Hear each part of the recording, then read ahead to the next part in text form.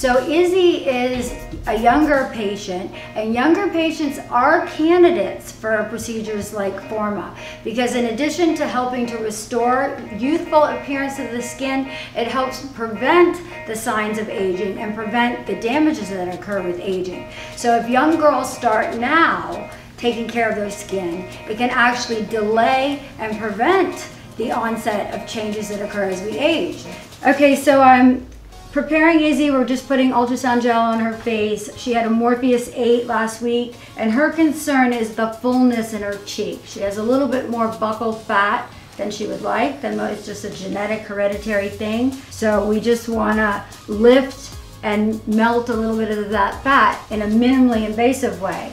A lot of girls, there is a buccal fat removal procedure that's actually a surgical procedure. This is a minimally invasive way to kind of tighten things up, melt the puffiness, give her a little bit of a lift, and resurface and give her a healthy, youthful glow.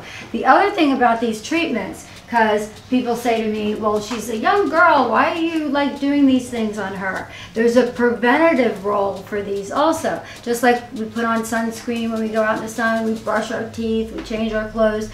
These treatments, the radiofrequency heat, is a gentle treatment that helps to improve, restore, and prevent the breakdown of collagen and elastin. So she begins doing these treatments now when she's approaching her early 20s, through her 20s and 30s, then that's going to delay the onset of aging and crepey skin and wrinkles and crow's feet and all of the, like the, um, almost looks like chicken skin, like puckered chicken skin as you age. These treatments if started now, will prevent and delay the onset of the signs of aging. Thank you for watching. If you want more information about any of the treatments that I do or more information about me, you can go to my website at www.bermansexualhealth.com.